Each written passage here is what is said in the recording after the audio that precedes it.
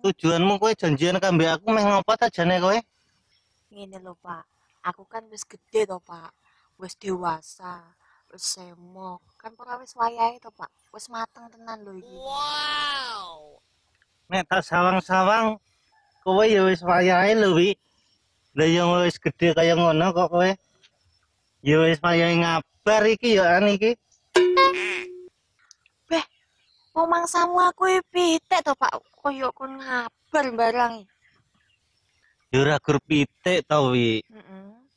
Menungsa ki ya wayahe ngedun kaya kowe ya an ki. Kasman ki piye to kok malah guyonan? Aku ki tenan lho.